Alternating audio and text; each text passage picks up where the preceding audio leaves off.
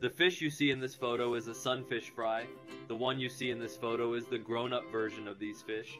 It's really interesting that fish that are not even one centimeter long as fry can grow up to 180 centimeters, and their average weight can reach up to 2,000 kg. You can follow me for more information like this.